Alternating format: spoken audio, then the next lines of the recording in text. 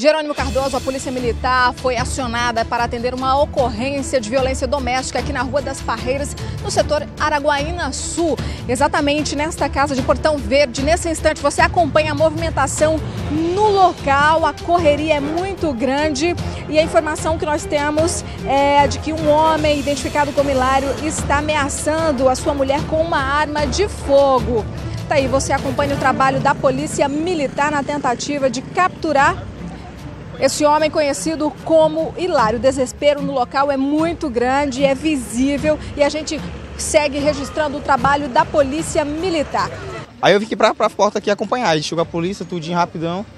Aí eu fiquei aqui na porta e foi pulou aqui. Aí quando ele pulou aqui, aí eu corri atrás dele e falei pros policiais, os policiais correu atrás. Ele, ele, tá, ele tá zangado com a esposa? Aí eu não sei, eu já acompanhei quase no meio. Chegou com atitude violenta? Chegou.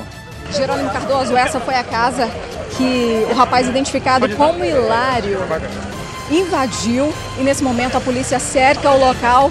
Você observa aí nesse instante os policiais chegando na casa e olha só, os policiais entrando e a gente consegue ouvir daqui de fora os tiros lá dentro.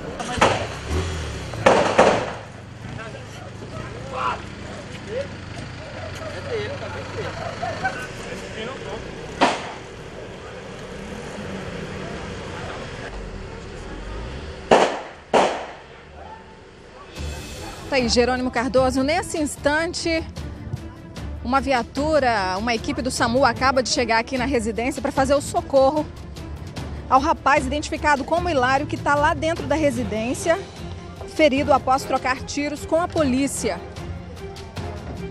Tá aí, nesse instante, você observa a movimentação aqui em frente à casa.